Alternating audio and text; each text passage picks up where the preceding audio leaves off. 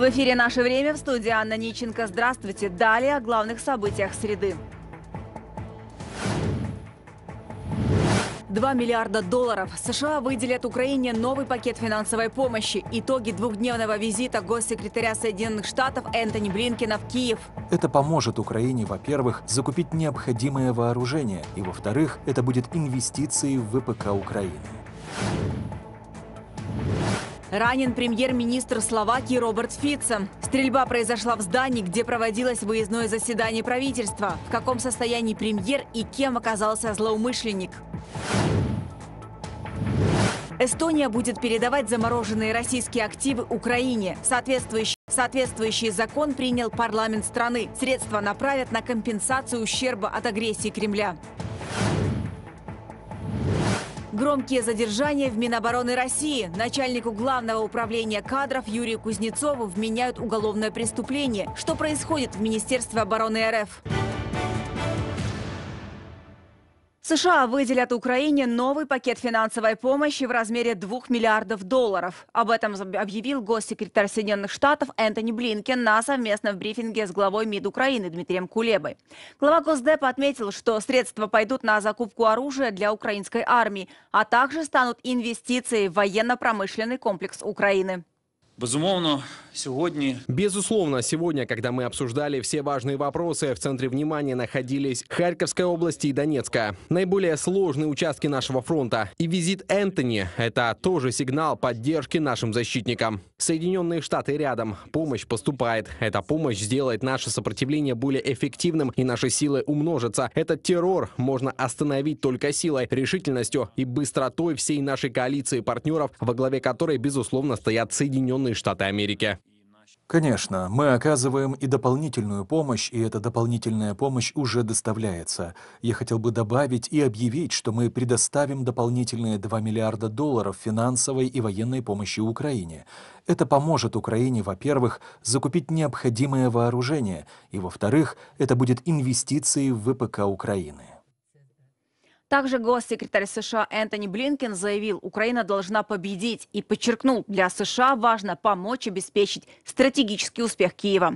Также госсекретарь прокомментировал возможность использования Украины американского оружия по территории РФ. Ответ был лаконичным. США не возражают против ударов по России в принципе. Это решение, которое должна принять Украина, а США обеспечит ее тем оружием, в котором Украина нуждается для успеха на поле боя, добавил Блинкен. Министры обороны стран-членов НАТО проведут встречу в штаб-квартире в Брюсселе 13 и 14 июня. В первый день состоится также заседание Совета Украина-НАТО. Об этом сообщили в пресс-службе Североатлантического альянса. Подробную программу встреч объявят ближе к дате. Международная рабочая группа по вопросам безопасности и евроатлантической интеграции Украины обнародовала отчет, в котором указаны конкретные шаги для будущего членства Украины в НАТО.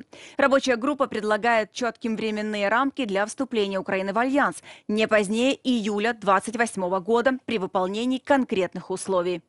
В июле в Вашингтоне состоится саммит НАТО, где мы призываем Альянс предоставить Украине приглашение начать переговоры о вступлении. Надежная перспектива членства в НАТО – ключевой способ убедить Россию, что она не выиграет от ведения войны. Наш отчет подчеркивает важность таких шагов для достижения справедливого мира. Сильные и четкие решения НАТО в июле будут чрезвычайно важны для будущего справедливого мира в Украине и всем евроатлантическом регионе. Они станут мотивацией и поддержкой для наших военных и всех граждан. Андрей Ермак, руководитель Офиса президента Украины, в Телеграм.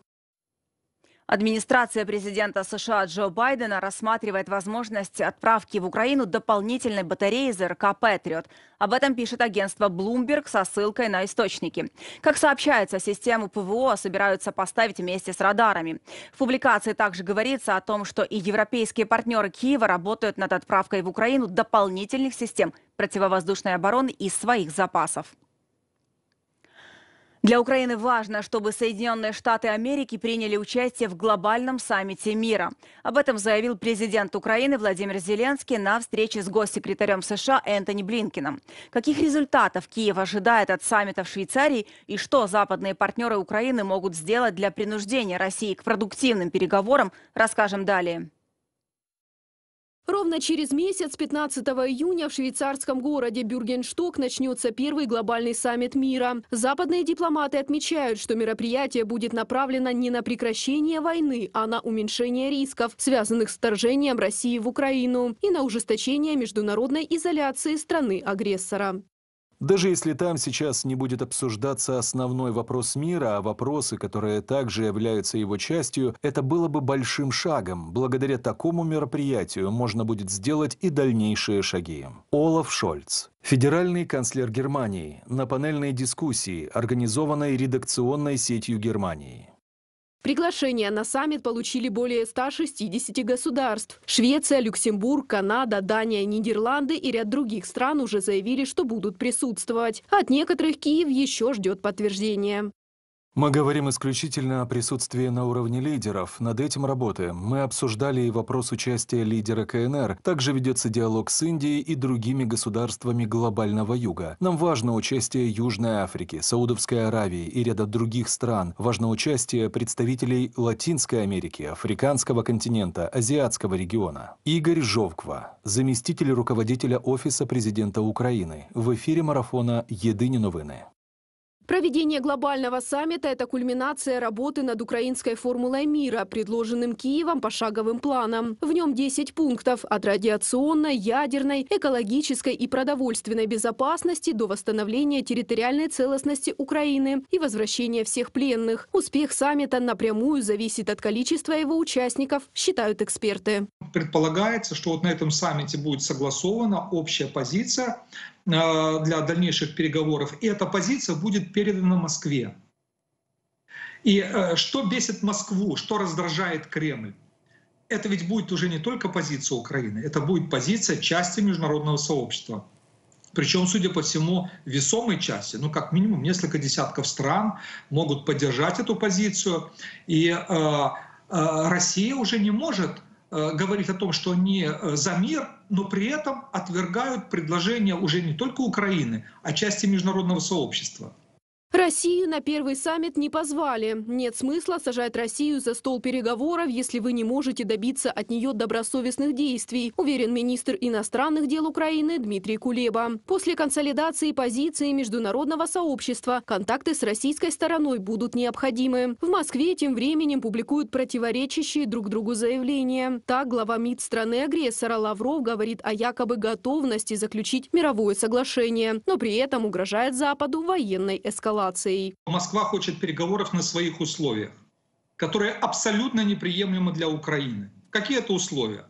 Э, Кремль хочет, чтобы Украина фактически отказалась от собственной армии. Россия хочет, чтобы украинская армия была не больше, чем 60-80 тысяч человек. Хочет, чтобы мы отказались от перспективы членства в НАТО, чтобы признали оккупированные территории Украины российскими и так далее. Для нас это неприемлемо. Поэтому о переговорах на российских условиях не может быть и речи. Любое соглашение с Москвой должно предполагать вывод российских войск со всей территории Украины, заявила экс-заместитель государственного секретаря Соединенных Штатов Америки Виктория Нуланд. Перспектива проведения саммита мира не должна расслаблять союзников Украины. Чтобы принудить Россию к реальным переговорам, Запад должен наращивать военную помощь Киеву, ужесточать санкционный режим в отношении страны-агрессора, предоставить Украине гарантии безопасности, а после принять в Североатлантический альянс. Российская авиация нанесла удар по Херсону. Захватчики сбросили на центральный район города три авиабомбы. Об этом сообщил глава областной военной администрации Александр Прокудин. В результате этой атаки пострадали по меньшей мере 18 человек. Трое из них получили тяжелые ранения. За их жизни борются врачи. Также повреждено 8 многоэтажек, 5 частных домов, 2 школы и медицинское учреждение. Российская армия впервые применила новый БПЛА «Гранат-4». В Минобороны РФ утверждают, модифицированный дрон оснащен подсветкой для корректируемых боеприпасов. Какую опасность беспилотник представляет для украинских защитников и как ВСУ уже сбивают эти дроны, смотрите далее. Все новое — это хорошо забытое старое. Это же можно сказать и о российских технологиях на фронте. Очередная резонансная победа на поверку оказалась враньем. На видео, как утверждает Роспропаганда, уничтожение американского танка «Абрам» с корректируемым обновленным российским боеприпасом. При этом удар наводит современный беспилотник «Гранат-4». Новейшая разработка на деле оказалась хорошо известным БПЛА, представленным еще в начале 2010-х, который наши военные неоднократно сбивали в ходе боев с 2014 года, а также полномасштабного вторжения. Это старая российская разработка, которая ранее использовалась как разведывательный дрон. Сейчас же, гласит Роспропаганда, дрон оборудовали уникальной системой, способной подсвечивать цель. То есть беспилотник лазером указывает на технику, а корректируемый снаряд ее поражает. Тот снаряд, который упоминают э, россияне, это Краснополь. Это старый советский снаряд, который еще был разработан в 80-х годах. А если мы говорим, допустим, по неподвижным целям, то да, она может быть эффективна. Если говорить о подвижным целям, то это э, трудная реализация. Много вопросов у экспертов вызвало и видео столь успешной работы БПЛА. Во-первых, после попадания не видно детонации боекомплекта, следовательно, степень поражения может быть несущественной, или же его и вовсе не было. Качество картинки не дает возможность исключить, что вместо Абрамса в поле военные выставили обычный макет, Такие случаи неоднократно бывали. Если же говорить о беспилотнике «Гранат-4», по мнению экспертов, его вполне может ждать судьба «Орлана», использование которого оккупантам пришлось существенно сократить из-за его высокой заметности в небе с учетом того, что у него двигатель внутреннего сгорания, то есть э, он э, тоже может быть по шумам замечен, и мы видим э, тактику сбоку России, что она пытается сейчас использовать больше э, разведывательные дроны с электрическими двигателями для того, чтобы быть малозаметными. По наблюдению военных, сейчас россияне значительно увеличивают использование разведдронов. Дело в том, что другие способы разведки, вроде спутниковых, им становятся все менее доступны один из этапов а, уменьшения возможности работы данных БПЛА это является средство радиоэлектронной борьбы. Сейчас активно идет вопрос обсуждения противодействия против разведывательных БПЛА. Есть уже хорошие отработанные, допустим, примеры противодействия, поэтому я думаю, что в ближайшее время мы сейчас увидим активную работу уже по разведывательным БПЛА российским. К слову, после начала полномасштабной войны проект «Гранат-4» находится в весьма плачевном состоянии. По данным разведсообщества «Информ-Напалм», в прошлом году предприятие, занимающееся его производством, контракт не выполнило. Часть комплектующих просто не доехала из-за санкций. В этом году ситуация не лучше, поэтому этих беспилотников будет в разы меньше, чем хотелось бы Кремлю.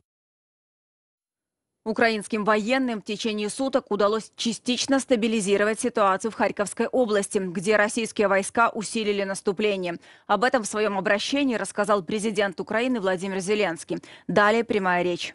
Постійна увага фронту усім районам бойових дій.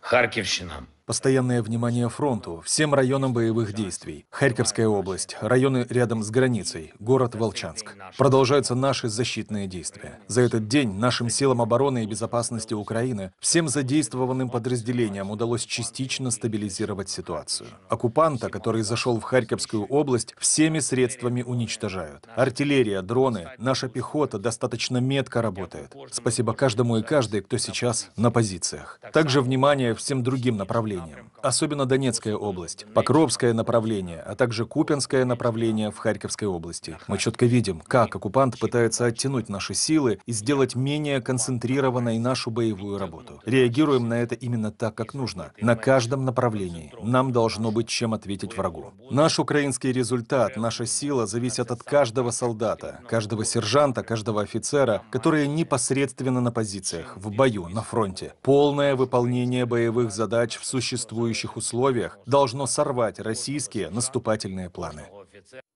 И подробнее о ситуации на фронте далее в сводке Генерального штаба ВСУ. Силы обороны Украины частично вытеснили российских оккупантов из Волчанска Харьковской области. Продолжаются оборонительные действия на северных и северо-западных окраинах города. Об этом сообщает Генштаб Вооруженных сил Украины. Кроме того, Американский институт изучения войны подчеркивает, что темп российского наступления в Харьковской области замедлился. Захватчики пытаются закрепиться на достигнутом рубеже и осуществляют перегруппировку, а ВСУ наносят противнику огневое поражение. Подразделения сил обороны ведут активные оборонные бои, однако попытки российских оккупантов прорвать нашу оборону остановлены. Ситуация несколько стабилизирована, в частности, на Харьковском направлении. Назар Волошин, спикер оперативно-стратегической группировки войск Хортица, в эфире марафона «Єдині новини». Украинские силы обороны смогли стабилизировать ситуацию, в том числе за счет привлечения дополнительных ресурсов. Э, Местные жители Вовчанска и окрестных сел рассказывают о том, что канонада звучит в режиме 24 на 7, причем канонада украинских артиллерийских систем. А это значит, что россияне несут огромные потери, но вряд ли смогут продвинуться в глубину нашей страны более чем на 8-10 километров, а именно там находится первая линия оборонительных защитных сооружений, тех самых фортификаций. Кроме того, спецназовцы Национальной гвардии Украины помешали российским оккупантам обустроить наблюдательный пункт на Харьковском направлении. Позицию захватчиков вычислили и поразили с помощью FPV-дрона. Противник несет потери. Вы, кстати, обратите внимание, например, на Харьковском направлении он весьма э, растительно относится к использованию вооружения, бронетехники. Не отправляет э, свои танки э, под э, удар украинской артиллерии. Почему? Потому как танков у них не так много. Хотя, безусловно, более 40 уничтоженных вражеских боевых бронированных машин за минувшие сутки это также вдохновляет. Армия РФ безуспешно пыталась штурмовать на нескольких направлениях. Большинство атак происходило на Покровском направлении, 19 штурмов, еще 18 зафиксировано на Купянском направлении. ВСУ отразили все атаки. практически на всех участках фронта. Сейчас у наших артиллеристов есть немало работ. Первой партии, так э, давно ожидаемых нами боеприпасов, наконец-то прибыли в боевые порядки и они улетают по прямому назначению на головы вражеских солдат. Это, безусловно, очень важно, потому как фактор огневого воздействия на противника остается ключевым, который обеспечивает преимущество на поле боя. В Донецкой области украинским пограничникам удалось уничтожить российскую радиолокационную станцию. Аэроразведчики обнаружили замаскированную боевую бронированную машину РФ. Оказалось, что это комплекс артиллерийской разведки и контрбатарейной борьбы «Зоопарк-1». В то же время на запорожском направлении украинские разведчики ударили по скоплению личного состава российских оккупантов. Кроме того, им удалось уничтожить большое количество техники противника. Также бойцы ВСУ удерживают позиции в селе Работе на Запорожской области, а заявление российской оккупационной армии о захвате населенного пункта опровергают в украинском генштабе. Российские пропагандистские паблики в очередной раз распространили фейк по поводу якобы захвата силами армии так называемой Российской Федерации населенного пункта Работина. Сообщаем, что эта информация не соответствует действительности. Продолжается оборона. Силы обороны Юга делают все необходимое, чтобы противник и дальше не имел успеха. В результате штурмов противник был вынужден отойти, понеся потери. Дмитрий Плетенчук, начальник Центра стратегических коммуникаций Сил обороны Юга Украины. При этом армия РФ несет потери, в частности, во временно оккупированном Крыму. Этой ночью под атаку попал аэродром Бельбек. Вспыхнул пожар, а на спутниковых снимках НАСА видно следы огня на стоянке самолетов. Есть вероятность попадания в ракетоноситель МиГ-31. Общие же потери армии РФ с 24 февраля 2022 года приблизились к цифре в 487 тысяч военных. За сутки были ликвидированы еще 1510 российских оккупантов. Также украинские защитники уничтожили 14 танков, 48 бронемашин, 23 артсистемы. Кроме этого, силы обороны Украины сбили 30 БПЛА и две крылатые ракеты и уничтожили 55 единиц автомобильной, спецтехники и цистерн с топливом. Франция передаст Украине новую партию зенитных ракет «Астер» для систем ПВО «Сампти». Об этом заявил министр обороны страны Себастьян Ликарню. Сроки поставок и количество предоставляемых ракет держат в секрете. Австралия передаст Украине скоростные катера. Они войдут в новый пакет помощи Киеву на 100 миллионов долларов. Об этом сообщают в посольстве Украины в Австралии.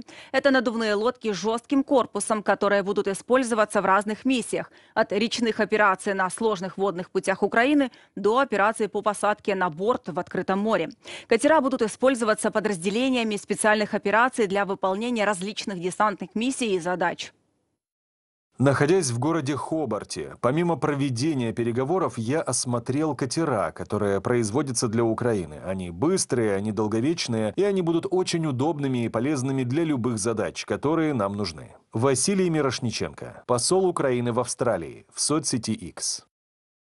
А парламент Эстонии принял закон, который позволяет передать замороженные российские активы Украине. Средства должны пойти на компенсацию ущерба, нанесенного в результате агрессии России. Как пишут эстонские СМИ, речь идет о подсанкционных активах физических и юридических лиц.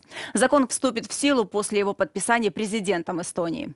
Россия, страна-агрессор, возмещение нанесенного ею военного ущерба не может лежать на плечах Украины и ее союзников. Россия ответственна ответственна за причинение вреда, и она также должна нести эту ответственность. Принятым сегодня законом Эстония предлагает механизм, который предусматривает ответственность тех людей и компаний, которые непосредственно участвуют в осуществлении агрессии или способствуют ей. Хендрик Йоханнес Террас, председатель Конституционного комитета парламента Эстонии из публикации издания «Постимеяс». У премьера Словакии Фица открылось кровотечение в брюшной полости. Он по-прежнему в операционной, сообщают СМИ. Во время покушения он получил три пули в живот и еще одну в плечо. Напомню, стрельба произошла возле здания, где проводилось выездное заседание правительства. Ранение получил премьер-министр Фица. Нападавшего удалось задержать. Им оказался 71-летний гражданин Словакии. На покушение отреагировал президент Украины Владимир Зеленский. Мы решительно осуждаем этот акт насилия против главы правительства нашего соседнего государства-партнера. Следует приложить все усилия, чтобы насилие не стало нормой в любой стране, форме или сфере. Мы искренне надеемся, что Роберт Фица быстро выздоровеет и выражаем нашу солидарность с народом Словакии. Владимир Зеленский, президент Украины, в соцсети X. Российская Федерация готовит провокации на территории стран Запада. Об этом заявила глава Центра правительственной связи Британии Анна Кист-Батлер. По ее словам, в Кремле готовы перейти от кибератак к диверсиям. В этом Москве будет помогать сеть европейских прокси-групп. Также Кист-Батлер уверена, что российский диктатор Путин не отказался от своих намерений завоевать Украину. Вместе с тем она подчеркнула, что помощь Великобритании украинской стороне будет оставаться устойчивой. Российская военная разведка работала над использованием антивоенных демонстраций в Германии. Эту кампанию организовали в рамках более широкой операции, направленной на влияние на общественное мнение в стране и с целью подорвать поддержку Украины, пишет агентство Bloomberg.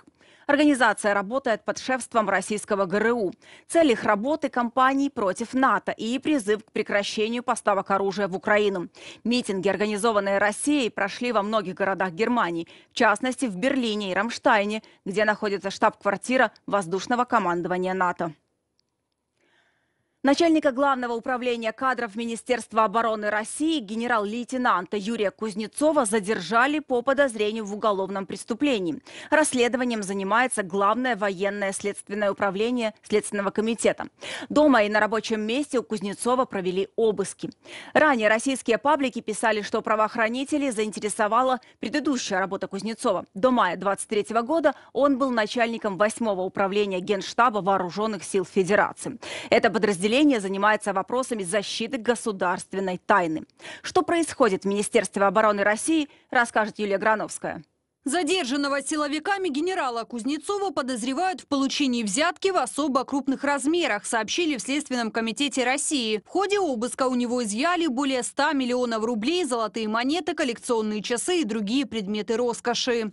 По данным следствия, в 2021-2023 годах, являясь начальником 8 управления Генерального штаба Вооруженных сил Российской Федерации, Кузнецов получил взятку от представителей коммерческих структур за совершение определенных действий в их пользу. Светлана Петренко, официальный представитель Следственного комитета России из публикации телеграм-канала «Следком». Ранее в коррупции, а именно в получении взятки в особо крупном размере более 1 миллиарда рублей обвинили заместителя министра обороны обороны России Тимура Иванова. Его задержали в апреле 2024 года в Москве. В военном ведомстве Иванов был главным армейским строителем. Близкие к ФСБ источники рассказали изданию «The Insider», что Иванова предупреждали о прослушке. Знакомые в ФСБ предупреждали Иванова, что генерал Юрьев дает команды ставить его на прослушку, а он только ухмылялся. Он был уверен в заступничестве Шойгу и бравировал тем, что в кабинете Пескова бывает даже чаще, чем у министра. Из публикации издания The Insider. Несмотря на череду коррупционных скандалов в Минобороне и явные провалы на фронте, несменяемого Шойгу на пенсию не отправили. Он получил кресло секретаря Совета Безопасности. Отставку Шойгу почти никто не, э, не предполагал, по крайней мере,